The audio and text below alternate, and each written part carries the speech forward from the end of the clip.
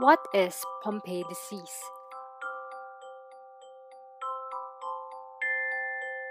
It is also known as glycogen storage disease type 2. It is an autosomal recessive condition that is estimated to affect 1 in every 40,000 births.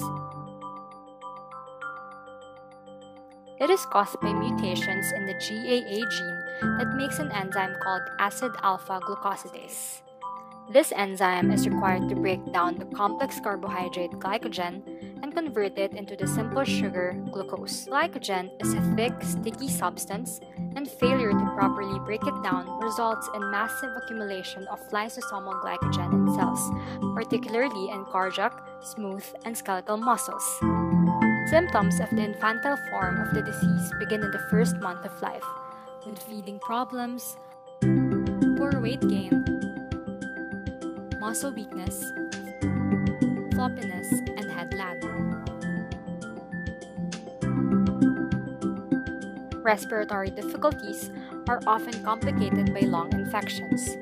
The heart is grossly enlarged, and many infants also have large tongues. In the late onset form of the disease, there is minimal cardiac involvement, but there is skeletal muscle weakness progressing to respiratory weakness and death from respiratory failure after a course lasting several years. Without enzyme replacement therapy, the hearts of babies with infantile onset Pompe disease progressively thicken and enlarge. These babies die before the age of one year from either cardiorespiratory failure or respiratory infection. For individuals with late onset Pompe disease, the prognosis is dependent upon the age of onset. In general, the later the age of onset, the slower the progression of the disease.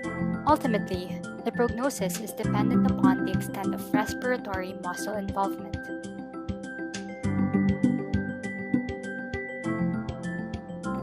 Help us increase awareness and raise funds that would go a long way in meeting the needs of these afflicted individuals, in forming policies, and in promoting research for better understanding of the disease.